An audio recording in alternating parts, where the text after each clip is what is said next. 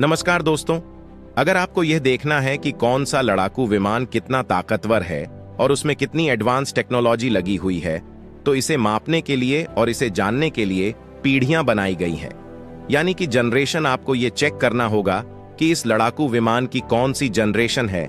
जैसे कि जो अमेरिका का एफ़ सिक्सटीन है, जो पाकिस्तान के पास है, वो फोर्थ जनरेशन लड़ाकू विमान है। चौथी पीढ़ी का भारत के पास जो राफेल है, ये चार पी फाइव जनरेशन का है, यानी कि साढ़े चावी पीढ़ी का। इसके बाद आती है फिफ्थ जनरेशन, यानी कि पांचवी पीढ़ी के लड़ाकू विमानों की श्रेणी। इस श्रेणी में तमाम देशों ने कोशिशें करी है, लेकिन सिर्फ़ दो ही लड़ाकू विमान बन पाए हैं, एक एफ़ ट्वेंटी टू रेप्टर, दूसरा एफ़ थर्टी फाइव, और दोनों ही अमेरिका ने बनाए हैं।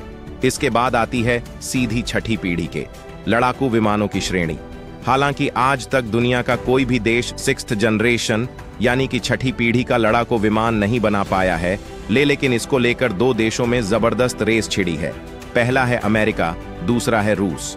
और ये रेस इसलिए ज़्यादा महत्वपूर्ण है, क्योंकि दोनों में से जो भी देश पहला सिक्सत जनरेशन फाइटर जेट बना लेगा ना, उसकी वायुसेना को पूरे वर्ल्ड में नंबर वन माना जाएगा, क्योंकि सिक्सत जनरेशन की जो टेक्नोलॉजी है, उसके सामने दुनिया की कोई भी वायुसेना ना तो टिक सकती है, ना ही उसे चैलेंज कर सकती है। मैं ऐसा क्यों कह रहा हूँ? अभी आपको पता चल जाएगा। दरअसल अमेरिका के एफ़ ए एक्स एक्स नाम के के छठी पीढ़ी के लड़ाकू विमान को टक्कर देने के लिए रूस भी अपना एक मिग 41 हाइपरसोनिक लड़ाकू विमान बना रहा है। लेकिन पिछले साल नवंबर 2023 में खबर आई कि रूस यूक्रेन युद्ध की वजह से रूस के पास फंड नहीं है, पैसा नहीं है। इसी वजह से रूस का मिग 41 हाइपरसोनिक बनाने का सपना खत्म हो चुका है, तबाह हो चुका है। इतना ही नहीं, स्क्रीन पर।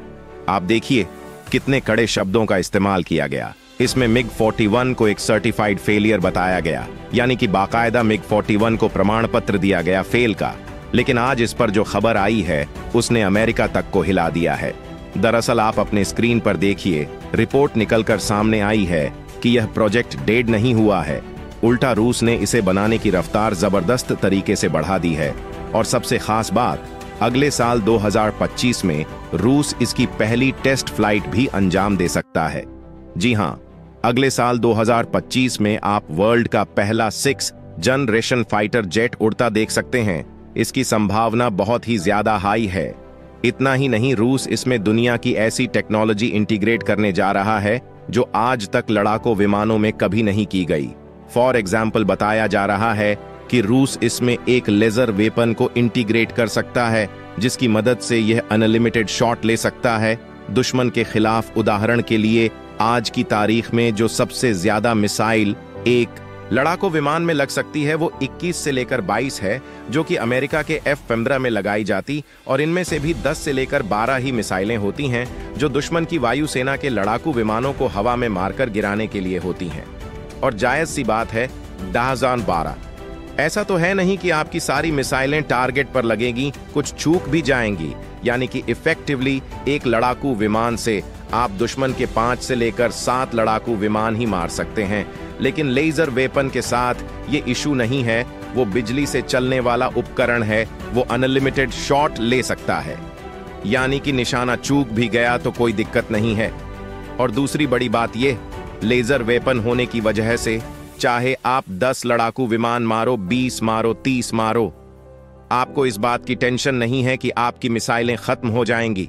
आपका लड़ाकू विमान का जो फ्यूल है, यानी कि जो उसमें ईंधन है, वो खत्म होगा तो ही आपको ज़मीन पर आना पड़ेगा। वरना मिसाइलों के लिए ज़मीन पर आने की कोई ज़रूरत नहीं है।